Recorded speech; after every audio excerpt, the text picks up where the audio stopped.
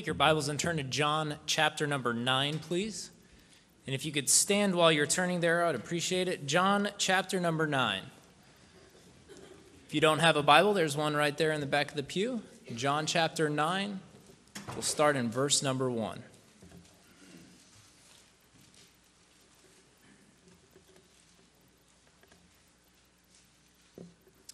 John 9, verse number 1 says this And as Jesus passed by, he saw a man which was blind from his birth.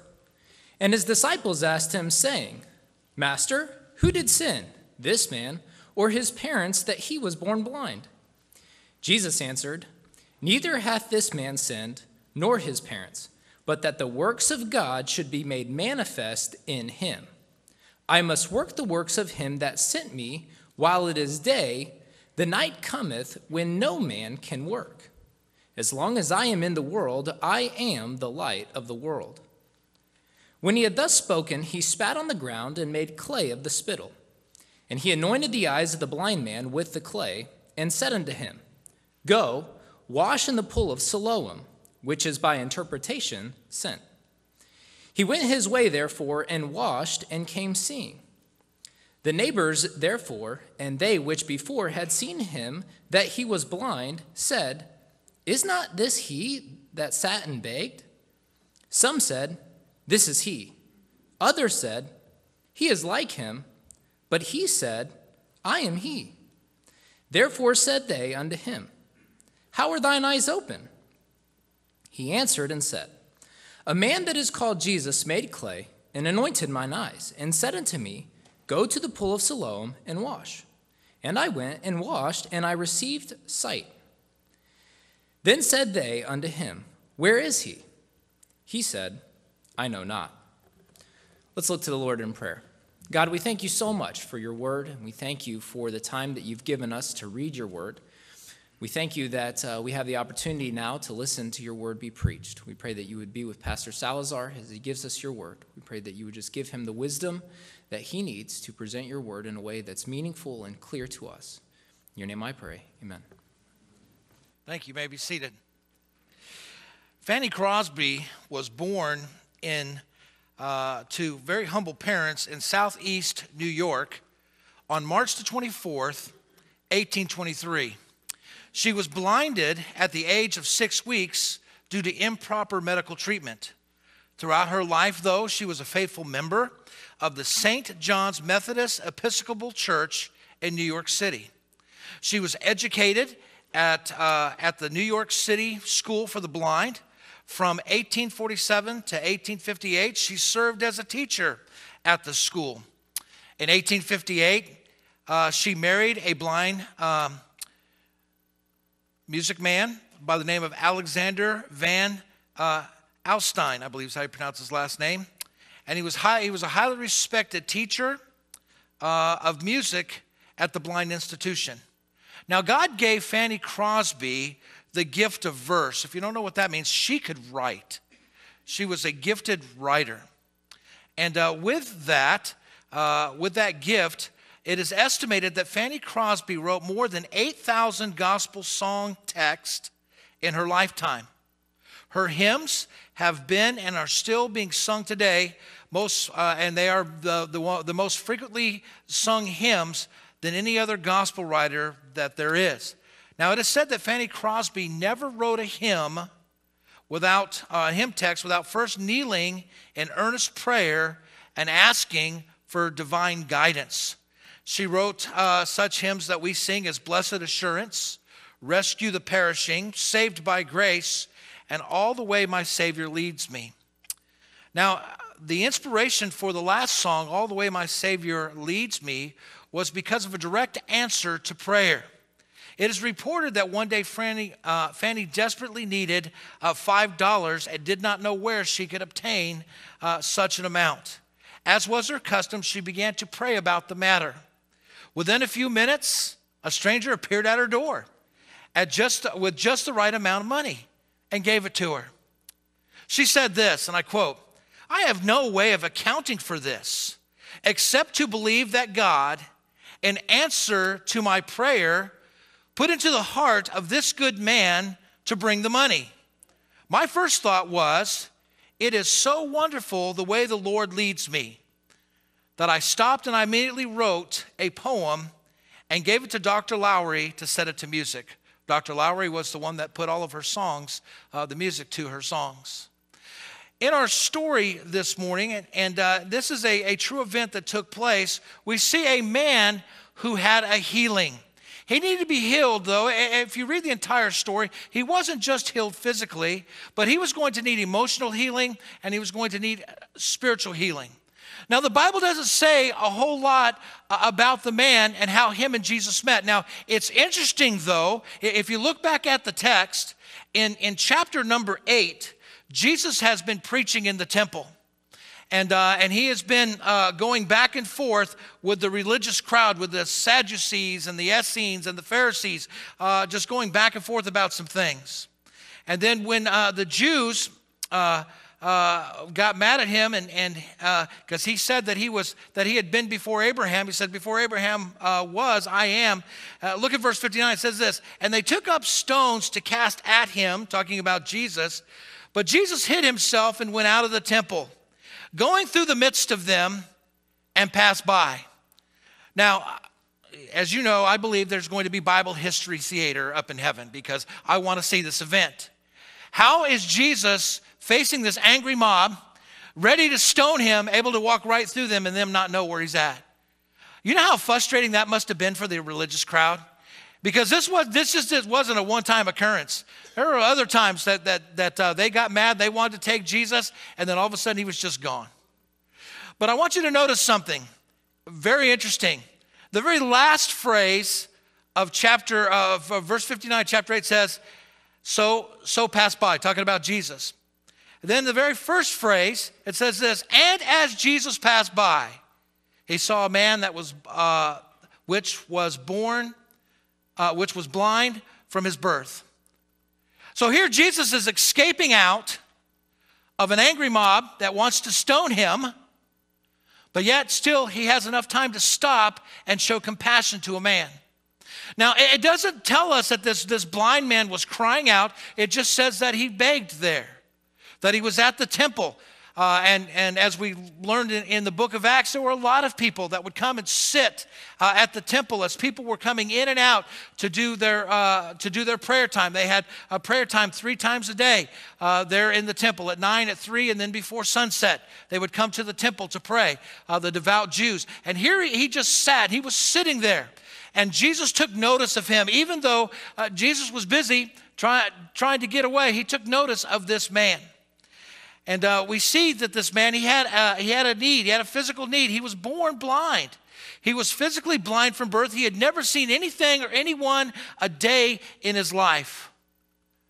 Now, I've never suffered from blindness. I've had eye surgeries before. And I've had that my this eye here, I think, has had like four or five surgeries on it. From, from cataract surgery to two retinal detachments, things like that. And, uh, and so I had just like this one eye. And because I've had so many surgeries on that eye, one third of my eye from this forward, I can't see anything out of. If something happens to this eye, I'm in trouble. See, because as I'm looking at you guys right now, I could see everybody from right here over. Can't see anybody over there. Yeah, I can see you waving. But if I do this eye, I could see everybody. Or if I open both eyes, I could really see everybody in that. And so there, there's that, that little bit of blindness there. I couldn't imagine, though, not having my sight. Now, probably many of you have been like me. I, have gone to a place in, in Colorado called the Cave of the Winds. I've been at caves uh, down in Missouri. I've been at caves down in Kentucky where they take you way down in the hole. Then they take and they turn out the lights. It's kind of eerie, isn't it? That you're there in that pitch dark and you can't see anything. Well, you think of this man. His entire life, he had been blind. He'd never seen anything. He'd never seen the beauty of a flower. He'd never seen uh, anything in God's nature. He can only have things described to him, but because he had never seen it, it was probably hard for him to grasp or imagine. But there he sat. He had a physical need, and he was a beggar at the temple. And, uh, but he was specifically noticed by Jesus. But notice something that, that, that takes place. As Jesus passes by, he saw the man which was blind from birth. Verse number two. And his disciples asked him, saying, Master, who did sin, this man or his parents, that he was born blind? Kind of a silly question, don't you think? Did his parents sin, therefore he was born blind, or did he sin before he was born, and therefore he was born blind? It's the way the question reads, doesn't it? it said, which one sinned? I mean, did Jesus know this guy was going to be such a bad guy? But Jesus said neither. His disciples immediately raised the theological question. And uh, was this blindness as a result of this man's sin or his parents' sin? Because after all, uh, in, in, the Jewish mindset, there was a common belief that the Jews, uh, among Jews, that a physical sickness was a direct result of sin. That's what they thought. And where did they get that thought from? Well, they got it from Exodus chapter 20, verse 5. Part of the Ten Commandments says this And thou shalt not bow thyself uh, to them, talking about other gods, nor serve them, for I, for I, the Lord thy God, am a jealous God, visiting the iniquity of the fathers upon the children to the third and fourth generation of them that hate me. So they automatically thought, well, if you have some type of physical ailment, if you're, you're crippled or anything happens to you, then obviously it's a result of your sin. You're just a bad person. And so they asked a question. But here was a man whom Jesus was going to show the power of God through. Look, look with me at verses 3 uh, and on. It says, Jesus answered, Neither hath this man sinned, nor, uh, as, excuse me, nor his parents but that the works of God may be made manifest in him. To manifest means to render apparent. Jesus confirmed that neither this, this man or his parents had sinned to cause his blindness, but the blindness would, be, uh, would, would make known the compassion and love of God. Look at verse number four. It says, I must work the works of him that sent me while it is day. The night cometh when no man can work.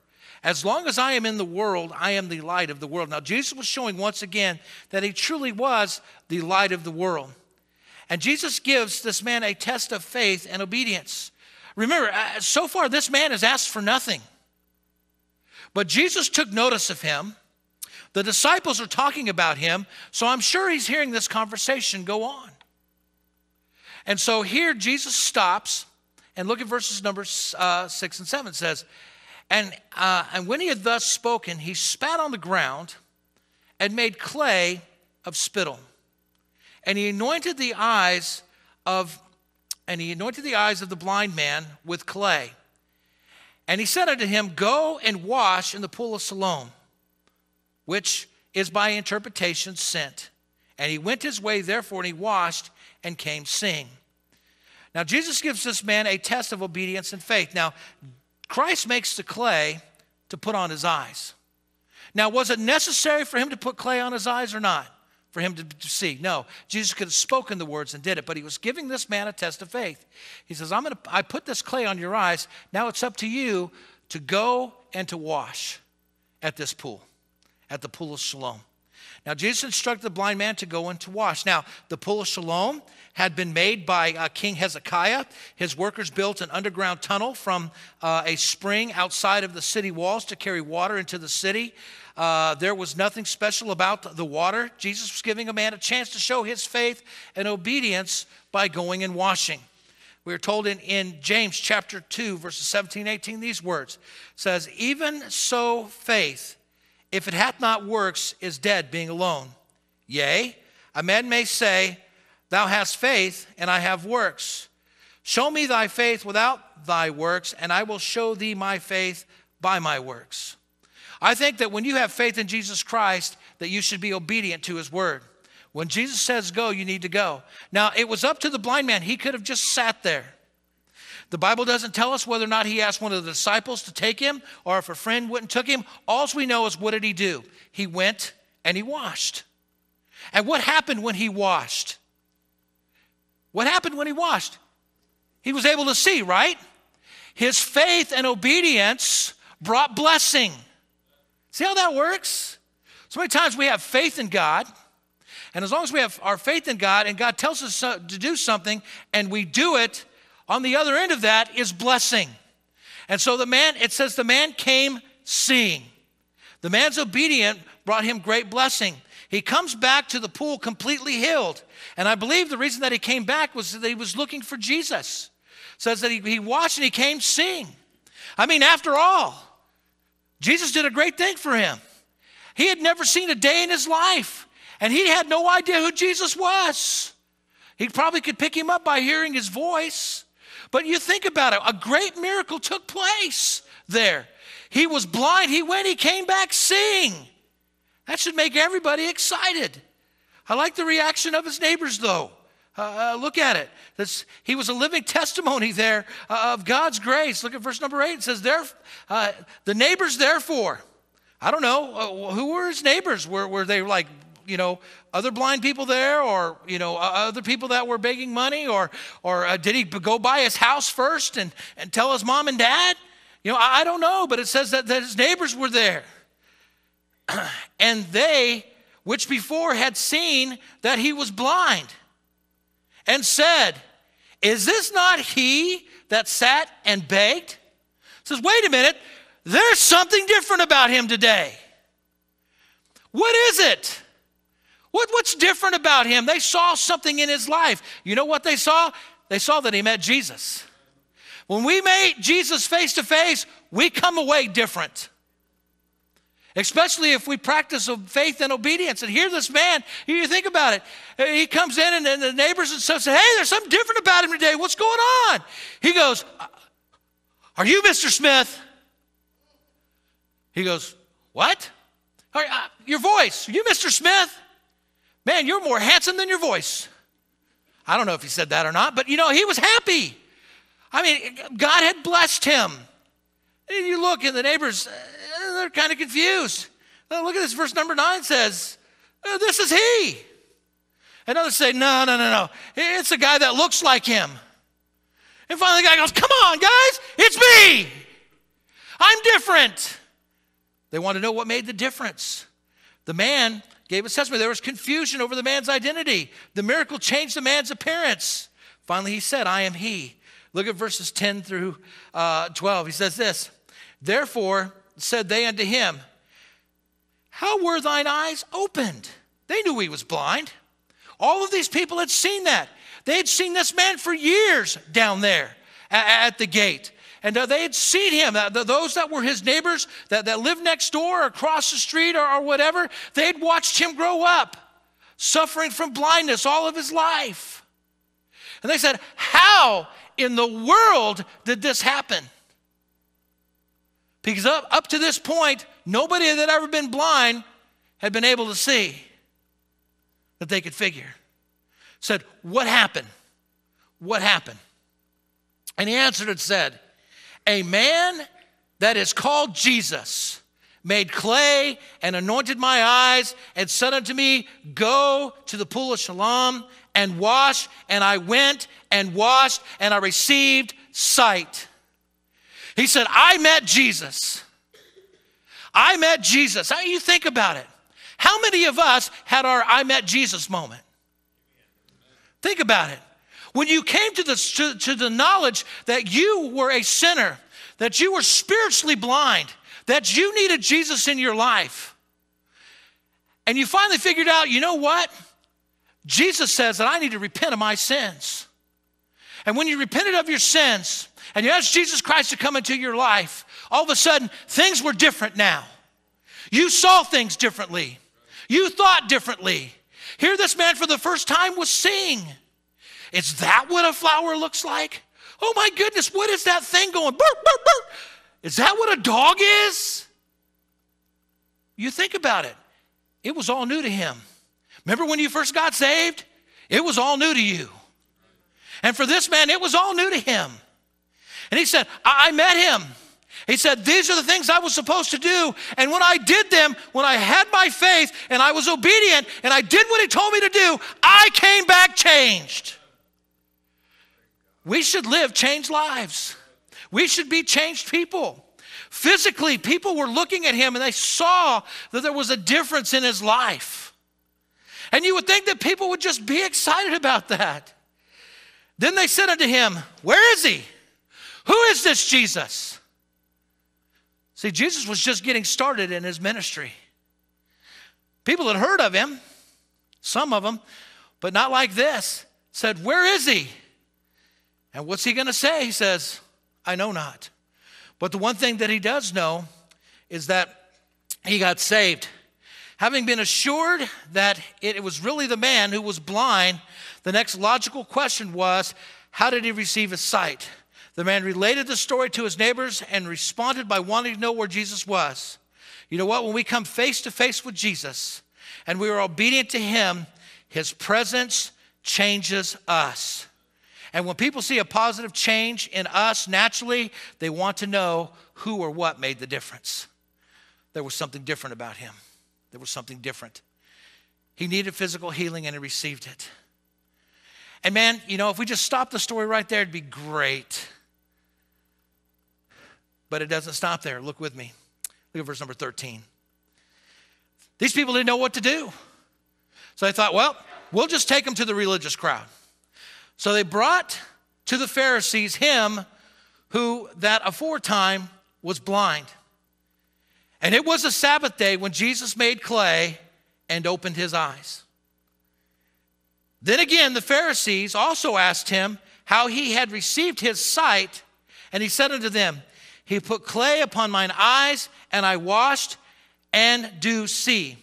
Therefore said some, some of the Pharisees, This man is not of God, because he keepeth not the Sabbath day. Others said, How can a man be a sinner that does such things? And there was division among them. Now, think of the stupid, silly argument these people had. Here was this blind man. He was happy that he received his sight. But yet the Pharisees were like, You know what? You're a bad man. And the man that healed you is bad because it's the Sabbath day and you shouldn't be working on the Sabbath day. He shouldn't have, Jesus shouldn't have bent down and made clay and put it on your eyes. You had no business to go wash your eyes. What's wrong with you? That's what they're saying. No, we look at this and think, oh, they weren't being that bad. No, they were being jerks about it. I mean, think about it. They were more worried about following tradition than they were the very fact that this man was a living miracle in front of them, that his life had changed. And so the man faced religious hostility. His healing was not right because it was done on the Sabbath day. Jesus wasn't right because he worked to make clay. This man wasn't right because he went and washed on that day. And the man didn't give them the right answer to their, their question. Look with me. Verse number 17. And they said unto the blind man again, What sayest thou of him that opened thine eyes? Well, what's the man to think? His answer was what? He's a prophet. He said, Hey, I've been in the temple. I've heard the stories. Only prophets do things like this. Elijah, Elisha. They're the people that do these things. He, he is, he's a prophet. There's something different about him. There's something different about him. But, but look with me, verse number 18. But the Jews did not believe concerning him that he had been born blind. He gave the wrong answer.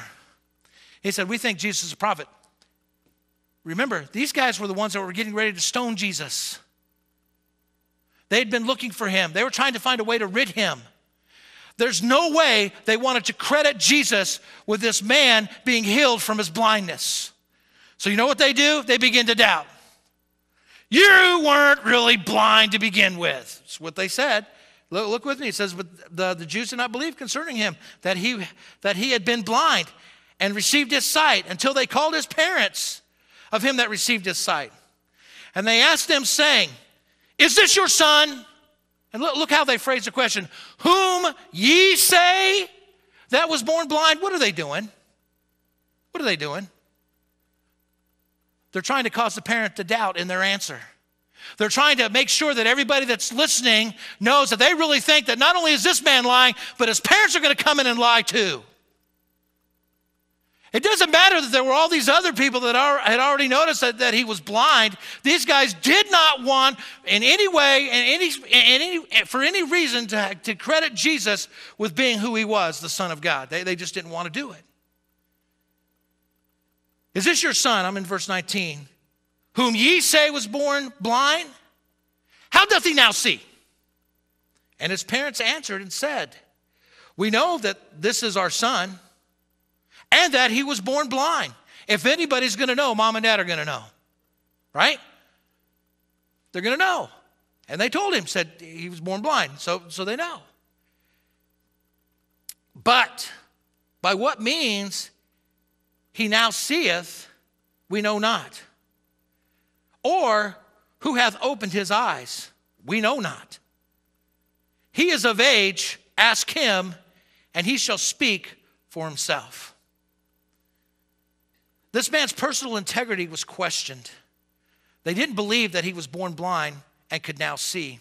They openly accused his parents, with this man standing there, of lying before they even answered the question.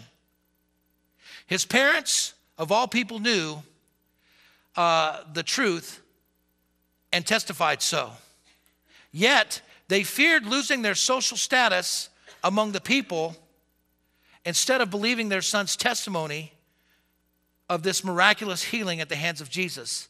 They declined to answer the question in the affirmative. Now, think about it. Here you are, the, the, the man. Here your parents are testifying, says, Yes, he's born blind, but we have no idea how, uh, he, he, how, how he received his blindness. Look at, uh, was re- received his sight. Look at verse 22. And these words spake his parents because they feared the Jews for the Jews had already uh, had agreed already that if any man did confess that Jesus was Christ, that he should be put out of the synagogue. Therefore said his parents, he is of age, ask him. You know, that had to be a blow to this man emotionally. When his parents cared more about what others thought than they did taking a stand for their son. They were more worried about their social status. Yes, he was an adult. Yes, he had been he was born that way and he, had been a, he's been adult for a while. But boy, when your own parents won't stand up for you, that would that, that'd kill you emotionally, wouldn't it? It'd kill you emotionally. They were they didn't want to lose their social status. Now we think, well, what's the big deal? It was a big deal. If you didn't belong to the synagogue, and you were ostracized, people wouldn't come to your place of business.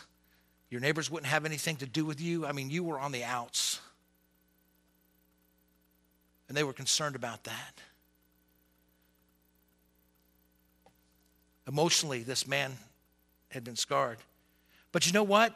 Despite all that, this man still stood for the truth. Look at verse 23 or look at verse 24. Then again, they called, then again called they the man that was blind and said unto him, Give God praise. We know this man is a sinner. What were they trying to say? Well, they wanted him to attribute the miracle of healing to God alone and to publicly state that Jesus was a sinner, because after all, if this man said that he was a sinner, then the people wouldn't believe his message. But instead, what did he do? He declared it a miracle. He said this, look at verse 25. And he answered and said, Whether he be a sinner or no, I know not. One thing I know, that whereas I was blind, now I see. You could call him whatever you want to, but all I know is there was a miracle. He says, I was blind and now I see. This morning when I woke up, I was blind. This morning when I came down to the temple, I was blind. As I sat there begging uh, for money, I was blind. But when Jesus passed by and he stopped my way and he made that clay and he opened my eyes, he says, Now I can see. There's a miracle that's taking place here. I don't understand why you fellows can't see it. Then they said to him again, What did he to thee? How opened he thine eyes? They didn't want to believe it was a miracle. They wanted to know what did he do?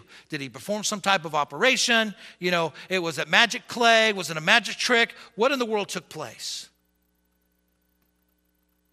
But the man still declared it a miracle, and that uh, done by Jesus, and he was living proof.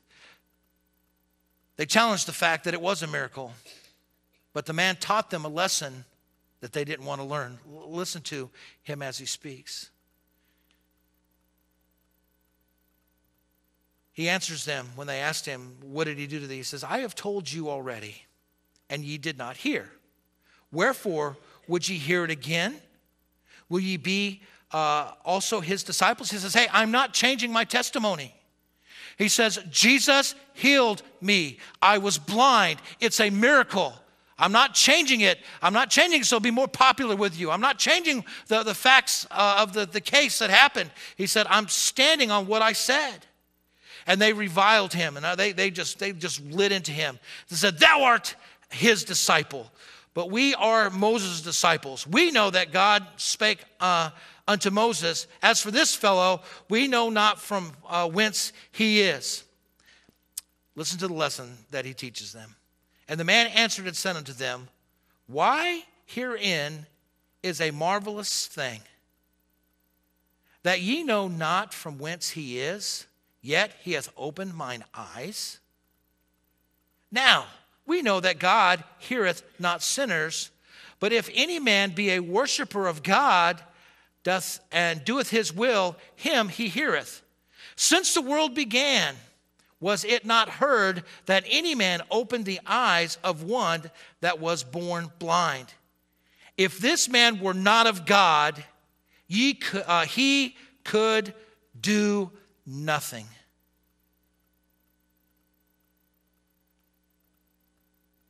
The Pharisees wanted to stand on their religious tradition. Said, hey, says, don't talk to us in that manner says we're disciples of Moses. We follow the commandments. Remember 613. I mean, we are strict to the law. Says, you know, uh, uh, you guys can't be right because it was a Sabbath day and, and, and your, your eyes were, you were not supposed to do anything on the Sabbath day. They didn't know what to do. They couldn't answer him. But the man stood on the fact that Jesus performed a miracle. The once blind man now rubs salt in their wounded egos. He said, it's astonishing to me, he argues, that here you are, the religious leaders, and you don't know where Christ came from? You don't understand that? You're supposed to be the experts in scripture and stuff. So then what you know what he does? He quotes scripture to them in, in a way. The blind man continues. Uh, his argument says this God only listens to those that do his will and are not sinners. He's referring back to Psalm 66, verses 18 to 19, says this if I regard, if I regard iniquity in mine heart, and the Lord will not hear me, the Lord will not hear me. But verily, God hath heard me and hath attended unto the voice of my prayer. He said, Listen, he said, if this man were a sinner, if this man was as bad as you said he was, and he wasn't of God, there's nothing that he could do in and of himself because God wouldn't bless him. But this man, Jesus, performed a miracle that no one else had ever done, and God helped him to do it. Therefore, Jesus could not be a sinner. He is not a sinner, for if he was, he could do nothing.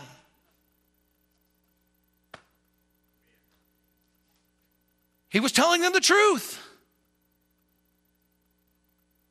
And they knew it was the truth. But look at the reaction. And they said unto him, Thou was altogether born in sins, and thou dost teach us. And they cast him out. They cast him out. They couldn't win the argument. They said, We have the power, you're excommunicated. You're out of here. Now, you think about it, emotionally, this man was having a very tough day. The religious leaders officially uh, excommunicated him from their local synagogue. This meant that the man was cut off from his friends and his family uh, and looked uh, and were looked on by the Jews as a publican and sinner. Why? Because he was healed from his blindness by Jesus. Emotionally, he needed healing, the same, uh, and the same one that healed him physically would heal him emotionally and spiritually as well. How do we know that? Luke 19:10 tells us this. For the Son of Man has come to seek and to save that which was lost. Think about this man. He stood for the truth, and religion let him down. If you're depending upon religion to get you to heaven, you're depending upon the wrong thing. It wasn't religion that did that. You know what? These same Pharisees probably walked by this blind man every day. And every once in a while they'd go, oh, here, here's something. Not one of them ever stopped and anointed his eyes. Not one of them ever reached out to him to take care of him. But Jesus knew that he had a need. Jesus stopped by and made a difference in his life. It wasn't religion, it was Jesus. You know what saves us? It's not religion, it's a relationship. It's relationship with Jesus Christ. And I'm very thankful that the Word of God tells us that Jesus Christ came to seek and to save that which was lost. Jesus came seeking us. That doesn't mean that Jesus personally came looking, but Jesus pressed upon somebody's heart to ensure that this young man heard the gospel. Maybe he came through his parents. Maybe it came through somebody on a bus route. Maybe it came through somebody handing them a gospel track. But Jesus was there. And I love this story because here the man, he, he was healed physically. He had a miracle performed in his life. And religion said it never took place. You're a liar. Because this man that supposedly healed you we don't care for. You know what? People don't care if you're religious. They don't care if you're religious. There are a lot of religious people that are out there. But when you start serving Jesus and you start invoking the name Jesus, all of a sudden, mm-mm. hey, you can come down to the state house and pray, just don't pray in Jesus' name. But he's my Savior. Hey, uh, we, don't, we don't care if you want to celebrate, you know, Christmas with ho, ho, ho and all that other stuff. Just don't put up a manger scene in public. They want to try to wipe out the fact that there is a Jesus. And that's what it started all the way back then. He needed physical healing, he needed emotional healing, but he also needed spiritual healing. Look with me, if you would, please, as we finish up this account. Jesus, uh, verse number 35, Jesus heard that they had cast him out. And when he had found him, if you are looking for something, it's important, isn't it? If somebody's looking for you, it's important. And Jesus knew that this man needed him, and he went and he found him. He found him.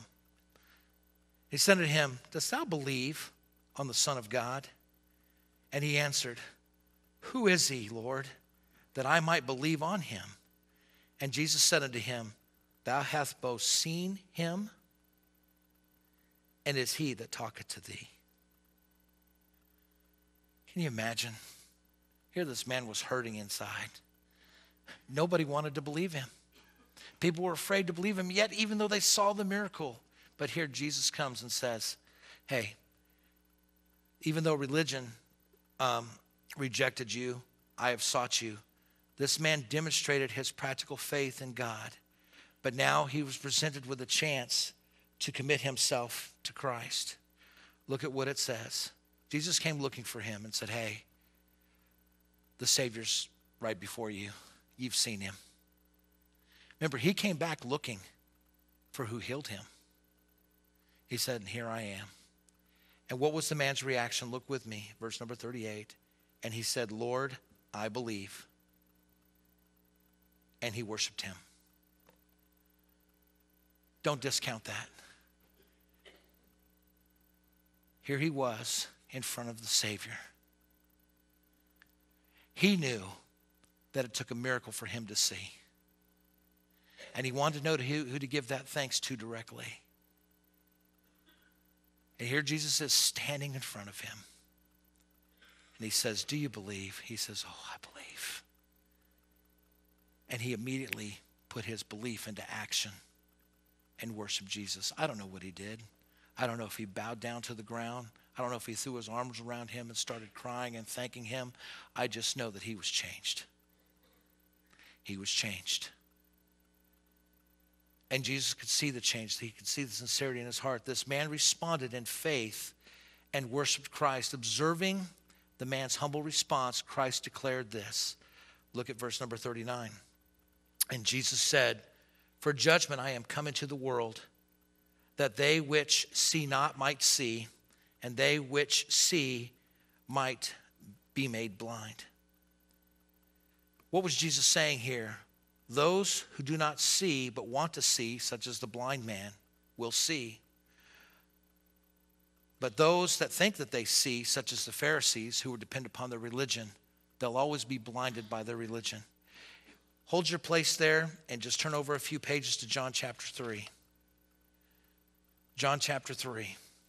In John chapter 3 and verse number 16 follow with along with me as I read. For God so loved the world that he gave his only begotten Son. This is Jesus talking to Nicodemus. That whosoever believeth in him should not perish but have everlasting life. For God sent not his Son into the world to condemn the world, but that the world through him might be saved. He that believeth on him is not condemned, but he that believeth not is condemned already, because he had not believed in the name of the only begotten Son of God. And this is the condemnation that light is come into the world. Who was that light? Jesus said, told his disciples, the beginning all of this, as long as I am in the world, I am the light of the world. Here, Jesus, says he is talking to Nicodemus earlier, uh, says uh, this, and this is the con- condemnation that light is come into the world, and men love darkness rather than light because their deeds are evil. These Pharisees had a fair chance to believe who Jesus was. They, of all people, should have known all the prophecies, all of the things that were said concerning Christ, they had a chance to see the light. But because Jesus was bad for the religious business, they didn't want to have anything to do with him. And so they remained spiritually blind. They were condemned because they loved darkness rather than the light. For everyone, verse number 20, that doeth evil hateth the light, neither cometh to the light, lest his deeds should be reproved. But he that doeth the truth cometh to the light, and that his deeds may be made manifest, that they are wrought in God. Here, Jesus tells him as this man's worshiping him, and people are watching what's going on. Just trust me, everywhere that Jesus went publicly, there were Pharisees there trying to entangle or catch him in some way. And Jesus says this man is worshiping him gives, gives that testimony again in verse 39. And Jesus said, For judgment I am come into this world, that they which see uh, not might see. Show the evidence of this blind man. Because he just didn't see physically, but he had his emotional needs taken care of, and he had his spiritual needs taken care of by Jesus. And he sits there as, as an example before them, a living example. And they which might see might be made blind. Then you see the reaction. And some of the Pharisees which were with him heard these words and said unto him, Are we blind also? And Jesus said unto them, If ye were blind, ye should have no sin. You know what? If you'd have been like this man, and you weren't dependent upon your religion, and you needed, and you, you truly needed something other than your religion, you'd be able to see. But ye say, We see, therefore your sin remaineth. The Savior warned the Pharisees of their spiritual blindness. The Pharisees thought their religious knowledge and practice made them see spiritually. But their trust in religion blinded them to the fact that the Savior and the Messiah that they were waiting for was standing right in front of them. But being spiritually blinded, they could not see him. Don't, don't, don't allow religion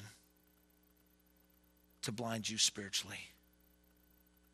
Jesus so much desires a personal relationship with you and I. There was an eye surgeon that went to China as a missionary and began practicing in one of the Chinese hospitals.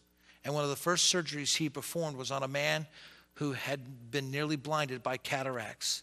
The operation was successful and the man recovered his eyesight. A few weeks later, the missionary was greatly surprised when 48 blind men showed up at his hospital doorstep. These blind men had walked more than 250 miles from a remote area of China to get to the hospital in order that they might have their sight restored. They had traveled the entire distance by holding on to a rope to keep them all together. And guess who was at the front holding the rope? It was a man who had his sight restored. If you were once spiritually blind, and we all were, we were blinded by sin but we have come to the Savior. You know what our task is now? Is to find others that are blind. That's our task. It's personally given to us. And here you have a beautiful practical example that Jesus gives to us. There are people that are out there that have a need. Sometimes people cry out, and other times they don't. But we shouldn't have this attitude, well, you know, if you're down and out, it's your fault. You don't know anything about anybody's backstory. There are so many testimonies in, the, in this room where God has forgiven us of great sin. Of great sin. That none of us would ever want to get up and have it shown in front of everybody what God saved us from or out of. But since we received our spiritual sight, He's also saved us from a lot of sin. And if we have the truth and if we have the answer, then it's incumbent upon us to tell others. I guarantee you, this blind man didn't keep it to himself. The Word of God tells us if our gospel be hid, it is hid to who? To them that are lost. Remember that song that we were taught in Sunday school? All I have to do is go like this, and everybody already knows what the song is, don't you? Sing with me, ready? This little light of mine, I'm gonna let it shine. This little light of mine, I'm gonna let it shine, let it shine, let it shine, let it shine. Won't let Satan it out. I'm gonna let it shine. Won't let Satan it out. I'm going to let it shine, let it shine, let it shine, let it shine. Yeah, we can go the other verses, but I think you get the point. You have a light. Jesus said, As long as I am in the world, Jesus is still in the world today. You know who he chooses to shine through? Us. I'm like a great big giant lighthouse. And people should be able to see Jesus in me. But not just me, but you. This man received healing grace. And I guarantee you, he told others about who Jesus was. What are you doing to help the spiritually blind? Let's stand together with our heads bowed and our eyes closed, please.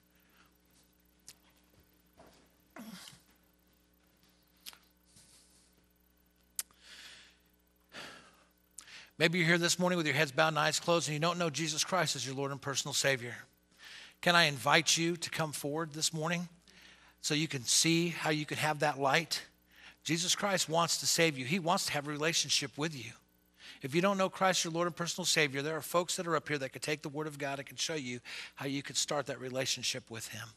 Or maybe you're here uh, this morning and you have been saved and you want to be scripturally baptized and uh, we're in the middle of, of getting the baptistry uh, cleaned, and uh, but pretty soon it'll be filled again, and uh, and you could follow Lord and believers baptism, or maybe you're here, you've been saved and baptized, and you want to join the church. Whatever your needs are this morning, why don't you come, Father? We just pray God you be with this time of invitation, Lord. Help us, Lord, to keep our light shining for you. If we ask in your precious name, Amen.